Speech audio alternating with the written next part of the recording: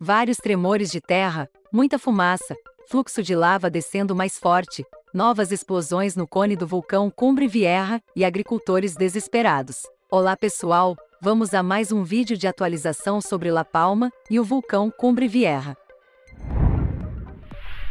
Infelizmente, as notícias sobre o vulcão de La Palma não são as melhores. O que parecia ser o princípio de calmaria na semana passada, se tornou nas últimas horas o reinício de um pesadelo com as atividades mais intensas no Cumbre Vieja. Foram sentidos 210 tremores nas últimas 24 horas, e alguns chegaram à magnitude 4 novamente. Outro fato preocupante é o aumento da emissão de fumaça do vulcão.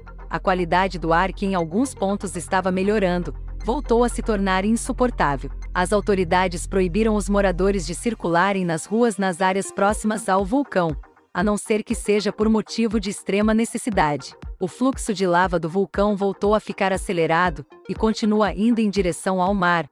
A nova faixa de terra está cada vez maior na praia de Los Guirres. O dia também foi marcado por novas explosões no cone do Cumbre Vieja. O jato de lava chegou a níveis altíssimos. Com o aumento das atividades do vulcão, os agricultores tiveram que deixar a área de suas plantações às pressas, eles estavam recebendo ajuda da marinha para chegar de barco até suas estufas. Numa tentativa desesperada, alguns deles tentaram salvar o que restou de suas lavouras, saltando sobre as estufas, na esperança de retirar as cinzas sobre elas. Os prejuízos são enormes, e parece que nada disso irá ajudar a salvar as plantações.